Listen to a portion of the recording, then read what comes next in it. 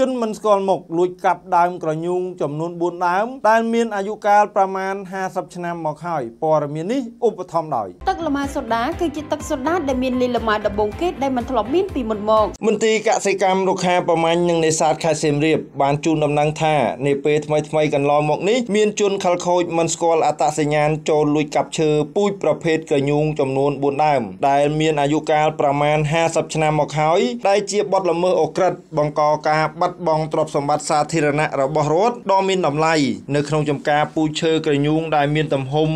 1880ហិកតាស្ថិតនៅភូមិសាស្ត្រឃុំកន្ទួតស្រុកស្វាយលើ និងឃុំខុនរៀមស្រុកបន្ទាយស្រីខេត្តសៀមរាបក្រោមការគ្រប់គ្រងនិងអភិវឌ្ឍតាំងពីឆ្នាំ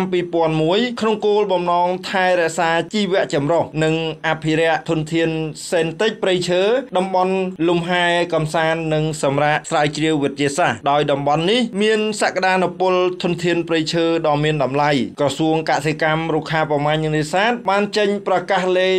602ប្រកក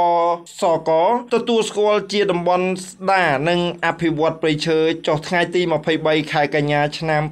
2016មន្ទីរកសិកម្មរុក្ខាប្រមាញ់និងនេសាទបានអំពាវនាវដល់ទទូចចំពោះសាធារណជនដែលបានស្គាល់និងដឹងដំណឹងពាក់ព័ន្ធនឹងជនល្មើសហើយបានរាយការណ៍និងផ្ដល់ព័ត៌មានដល់សមត្ថកិច្ចរហូតឈានចាប់ជនល្មើសបានមន្ទីរកសិកម្មរុក្ខាប្រមាញ់និងនេសាទខេត្តសៀមរាបនឹងជូនរង្វាន់ជាប្រាក់ចំនួន1000ដុល្លារសហរដ្ឋអាមេរិកហើយព័ត៌មានត្រូវបានរក្សាជាសម្ងាត់ជូនមិនឲ្យមានបញ្ហាដល់អ្នកផ្ដល់ព័ត៌មានខាងលើនេះឡើយសូមតាក់ទងផ្ដល់ព័ត៌មានមកលេខទូរស័ព្ទ092